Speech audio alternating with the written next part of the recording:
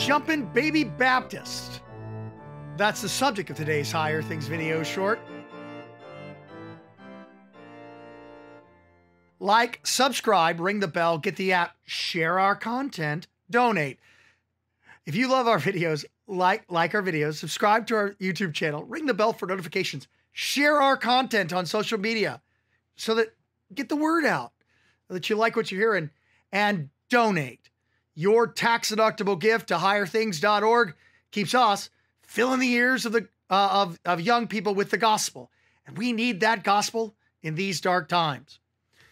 The traditional fourth Sunday gospel alternate reading is Luke chapter 1, which has a leaping baby John the Baptist. Let's sort of take a look at it, shall we?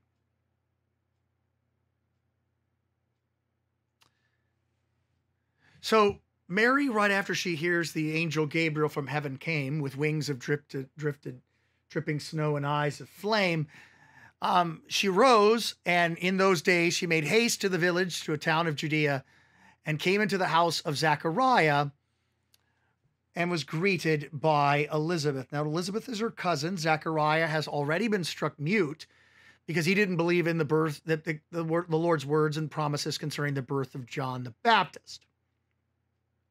Now, when Elizabeth heard the greeting of Mary, the baby leaped in her womb.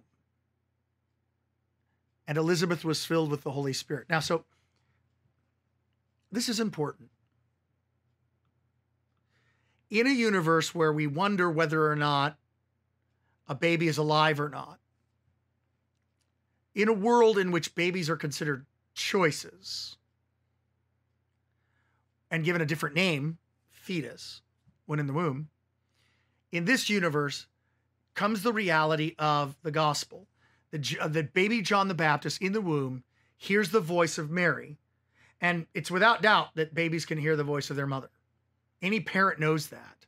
That, that the babies hear the voice of their mom and dad. Um, when my oldest was born, he was squealing like a, like it, like it, something bad had happened to him until was given to his mother, and the sound of his mother's voice, the sound of uh, his mother's heartbeat, comforted him baby John the Baptist is, um, without doubt, without sort of any hesitation at all, his whole job in life, from conception on, from before conception, is to proclaim the, the uh, Jesus as the Lamb of God who takes away the sin of the world.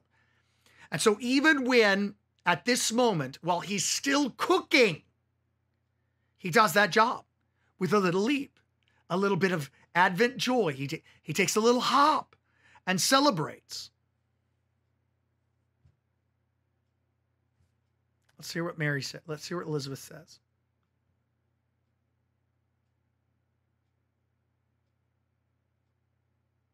So Elizabeth was filled with the Holy Spirit and proclaimed with a great voice Blessed are you amongst women, and blessed is the fruit of your womb.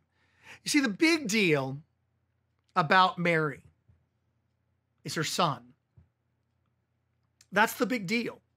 Mary's a lot of things. She's blessed. All nations uh, call her blessed. Um, her soul magnifies the Lord. All of that.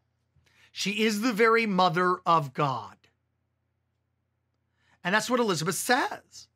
Why is it grounded to me that the mother of my Lord should come to me? She is the mother of Yahweh. She's the mother of God. She, uh, Mary is.